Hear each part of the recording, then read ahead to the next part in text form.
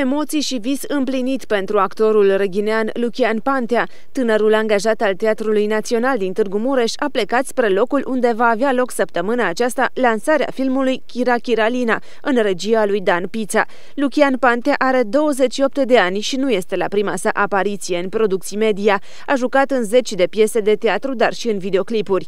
Acesta este însă primul film în care apare. O veste bună pentru cei care îl cunosc este că producția va rula și în cinematografele mureșene.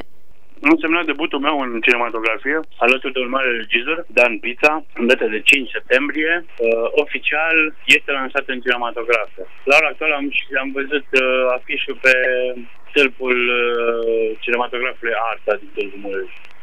Mult au bani mulți care se duc apa sâmbete pe gârlă la vale, amărăciune și bucurii la oaltă.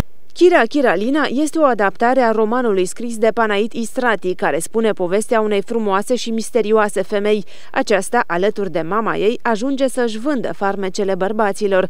Ecranizarea, care are o aură orientală, aduce pe marile ecrane atmosfera magică întâlnită în O mie și una de nopți.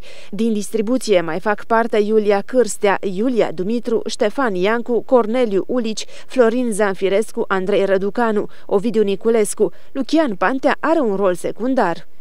Personajul meu este un pețitor care vine la casa Chiralinei. Este un uh, turc pe nume Mustafa. Este invitat la petrecerile cele mai de seamă și restul să vedeți în film.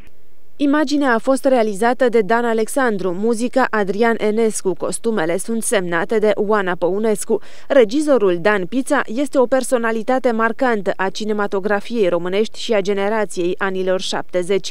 Cât despre studioul de producție, este unul important din România. Multe dintre filmele turnate aici s-au bucurat de succes de box office la nivel mondial. Cel mai cunoscut rămâne Cold Mountain.